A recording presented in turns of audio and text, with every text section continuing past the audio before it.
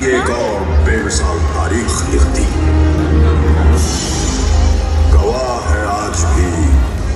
कारगिल की वो बुलंद चोटियाँ जिनको तुमने अपने लहू से सींच कर तिरंगे की आग पान और शान को रोशन कर दिया।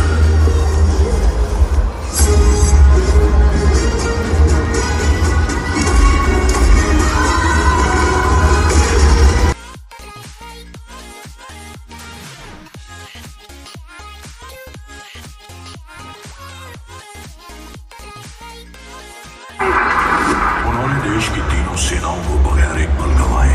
दुश्मन की गोली का जवाब गोलों से देने का आदेश सुनाया है। भारतीय सेना ने तुरंत एक्शन लेते हुए युद्ध का ऐलान कर दिया।